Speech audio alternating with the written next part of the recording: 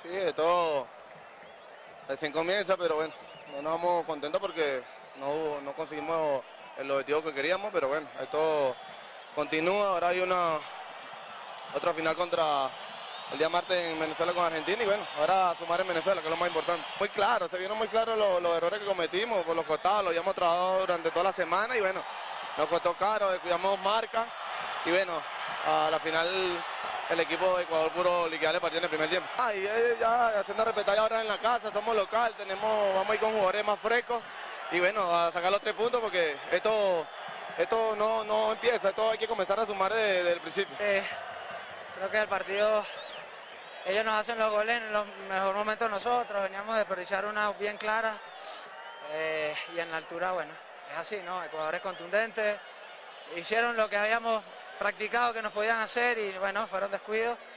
Eh, ahora bueno, toca, como dices tú, pasar la página, pensar en Argentina y esto es un camino muy largo, ¿no? La, esperanza y el sueño no se acaba en este partido. No, estamos en casa y, sea quien sea, hay que salir a sumar. No, que hay que tener un poco más cuidado en ciertas, ciertos detalles acá, en, sobre todo en, este tipo de ambiente, ¿no? La pelota vuela un poco más, más rápido, ellos lo saben aprovechar.